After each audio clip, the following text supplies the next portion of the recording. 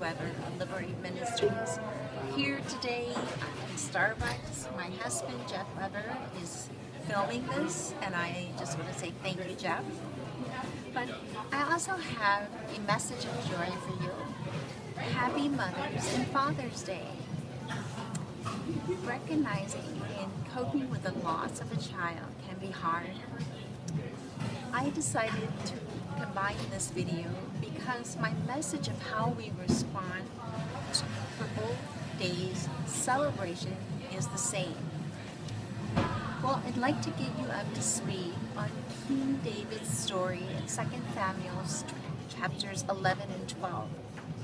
I'm actually going to be par um, paraphrasing from the message in the Amplified Bible.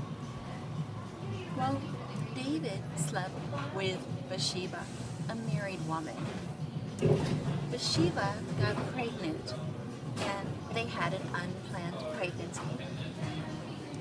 David is ashamed that he got Bathsheba pregnant. He has Uriah, her husband, brought back from the battlefield.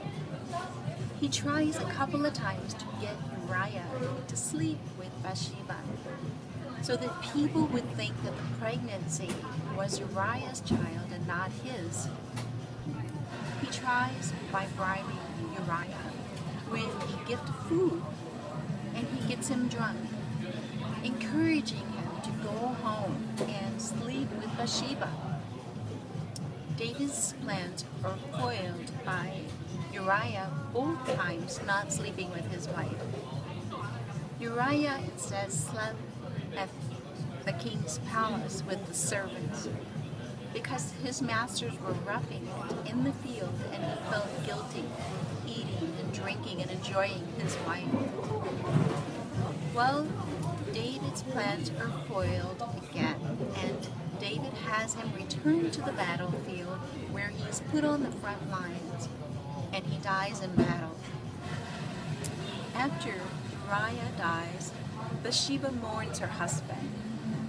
After the mourning is over, David sends for Bathsheba and takes Bathsheba as his wife. Their child they had was a son. And the Lord sent Nathan, the prophet, to David to give him an opportunity to get right with him privately. Realizes that he has sinned against no one but God. Nathan says that the Lord forgives you, but because of your blasphemous behavior, the child must die. David spent a week in prayer and fasting for their sick child, hoping that the Lord would have mercy over him and let the child live.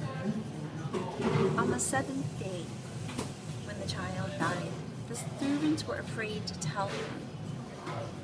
What do we do now?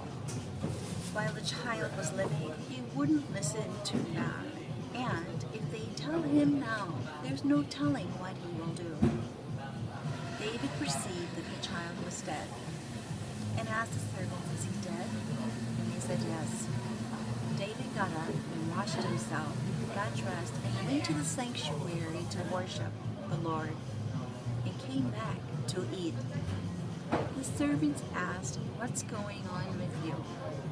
And David responded, well, while the child was alive, I wept, thinking God might have mercy on me, and the child would live. In 2 Samuel 12, 23, that's when David responds back and says, but now he is dead, so why should I fast? I can I bring him back again? I shall go to him, but he will not return to me. This scripture gives us hope that we can be reunited with our child. I can be sure of reuniting with my child in heaven because I had accepted Jesus as my Lord right after the abortion when I realized what I had done. There's so much that these chapters reveal that we can learn from about unplanned pregnancies, shame, murder, and forgiveness. But I really wanted to focus on helping you get reunited with your child. David had an unplanned pregnancy and was so ashamed that his actions ended up killing the life of an innocent man. This wasn't the way David wanted to bring his first heir into the world. The same thing is happening today. People get pregnant. We are so ashamed at the way it happened, and the shame leads us to aborting our children. This wasn't the right way that we wanted to give life to our first children. There are no unplanned pregnancies. God doesn't make mistakes. When you get not be the ideal living situation that you wanted to give life to your child in, but the child isn't a mistake. I like to call it an unexpected pregnancy to you instead of an unplanned. So maybe you aren't following the God stuff, but you have fathered or mothered a child that was lost to death for abortion. The scripture tells us through King David's story that his child went to heaven. So maybe you want to be reunited with your child, but you just aren't into Christianity. Well, in order to be reunited with your child, you have to get to heaven by becoming a believer. So I'd like to invite you to pray with you and give you an opportunity. Dear Jesus, please forgive me for my sins. Come into my heart and meet me where I am. I acknowledge you as my Lord and Savior. Thank you for dying on the cross and rising from the dead so that I can live. I desire the gift of eternal life that you promised. Thank you, Jesus.